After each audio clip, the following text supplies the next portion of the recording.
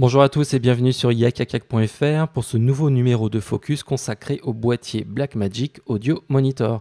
Alors Blackmagic nous a prêté ce boîtier pendant quelques jours qui a été présenté lors du dernier NAB 2013 et ce boîtier permet de faire plusieurs choses au-delà donc de contrôler le son euh, de façon plutôt euh, excellente euh, grâce à ses enceintes.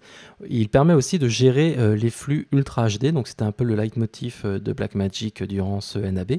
Donc on a des entrées 6G et a une sortie HDMI 4K aussi disponible à Ultra HD on va dire. Voilà. Alors on va regarder justement à l'arrière de ce boîtier de quoi il est constitué, quelles sont les entrées-sorties. On a une alimentation, une prise USB 2.0 qui va permettre de faire une mise à jour du firmware par exemple. Au niveau donc on a une prise HDMI out qui va permettre plusieurs choses, donc soit sortir le signal 4K si on a rentré un signal 6G 4K, soit faire une conversion en temps réel en HD tout simplement. On a aussi ici euh, donc une entrée SDI in, SDI out, d'accord, et on a les entrées audio, AES-EBU, analogue et stéréo. Cette configuration ici, elle a été constituée avec euh, tout simplement un boîtier d'acquisition en Thunderbolt sur un MacBook Pro.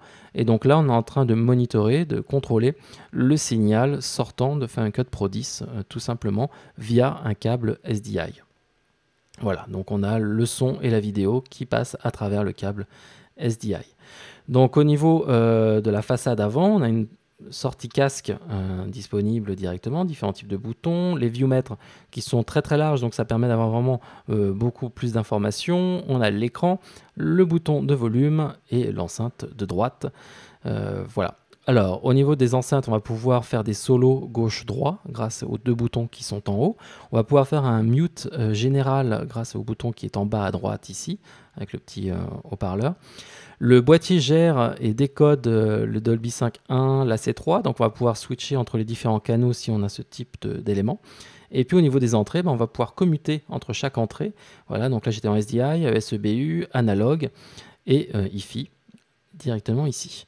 Donc là, on a euh, la possibilité de, donc, de commuter, de cycler grâce à tous ces éléments. Le volume se gère sur la face avant ici à droite de l'écran.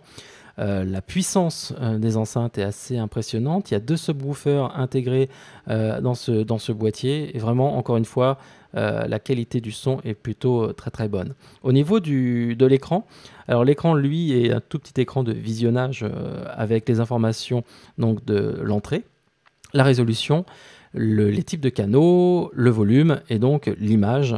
Euh, si vous êtes en SDI, mais ça commute en fait sur une image avec les petites notes de musique à l'iTunes, euh, si vous passez en euh, AES-EBU, analogue ou stéréo. Le prix c'est 1175 euros, disponible chez tous vos revendeurs Blackmagic.